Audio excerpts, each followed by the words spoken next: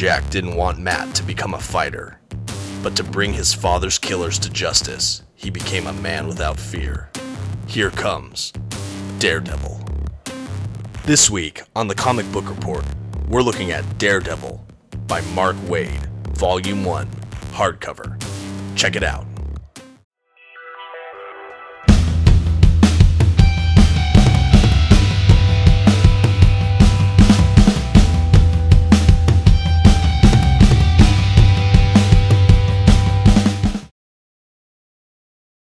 Hello from Hell's Kitchen. My name is Dominic, and this is the Comic Book Report, where we review comic books and graphic novels so you can get an idea of what to read.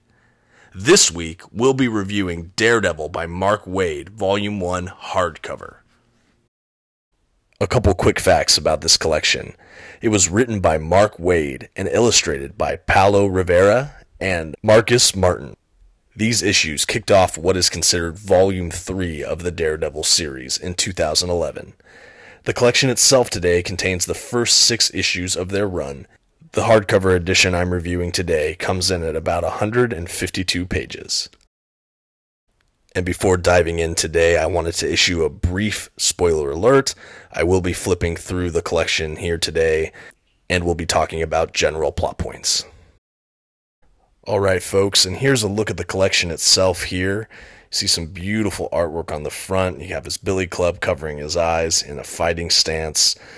And the back cover gives us a look at the city of New York and Daredevil swinging through it, along with a brief synopsis of the book itself.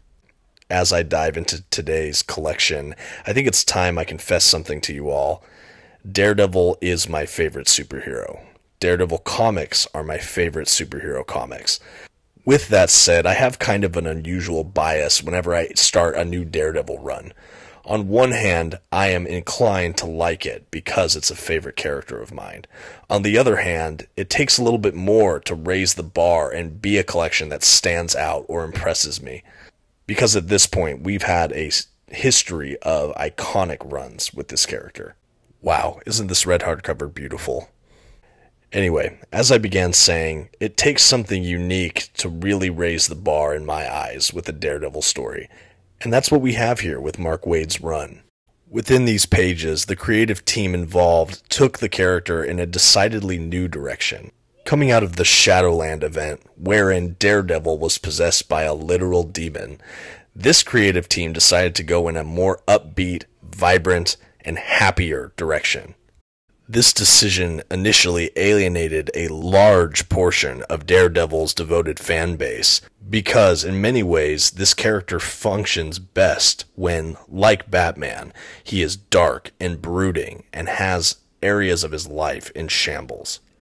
However, these decisions to make Matt Murdock both in and out of costume an altogether happier, more easygoing character are the very things that lend a fresh breath to this character and series as a whole. I want to encourage those who might be thrown off by this happy go lucky idea for this character to just be patient because as Waid's run matures, you see the fuller psychological profile of Matt Murdock, realizing that his external happiness is only skin deep.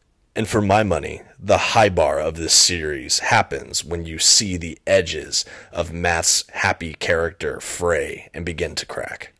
Another strength of this Daredevil run, and you can see it starting in this first volume here, is how character driven this series is. In addition to Mark Waid's complex psychological depiction of Matt Murdock, or Daredevil, we also get treated to some incredible developments with his relationships with his best friend, Foggy Nelson, and the introduction of a strong new female lead in the character of Kirsten McDuffie. This trio is the beating heart of this run, and it is a joy to watch their relationships mature, develop, and change throughout this entire series. The plotline itself treats readers to battles with villains both old and new, as Daredevil fights through the streets of New York, Matt Murdock fights within the courtroom, culminating with the introduction of a conspiracy that involves some of the world's leading criminal organizations. And while the plotline itself within this collection is strong, It is the construction of the new status quo and new character development that really shine. And that's it for the book itself. Before we go to the grading portion of this review, I wanted to spend some time showcasing the art. While Mark Waid spells out the more upbeat version of our hero, it's the art of Paulo Rivera and Marcos Martin that really sell it. As readers, we're treated to beautiful two page splash pictures throughout this volume, with a color palette more vibrant than any I've seen in a Daredevil run up until this point. This heavy saturation of some of the primary colors give an almost throwback feel to the silver age of comic books. The character models in this volume as well seem to be made up of simpler geometry, which, coupled with the color palette, lend to such a fun, easy feel that match perfectly with the narrative tone. And with that, it's time to give this collection a grade. For Daredevil by Mark Waid, Volume 1, hardcover, the Comic Book Report gives this book a B plus, providing a refreshing start to a new run with a color palette that is both as vibrant and upbeat as the narrative tone. This collection is not to be missed. Great for new and returning readers. Check out Daredevil by Mark Waid. And that'll do it for this week on the Comic Book Report. If you have thoughts on this week's video, please feel free to leave me a comment below. And if you haven't already, please consider liking and subscribing. Until next time, have a great week.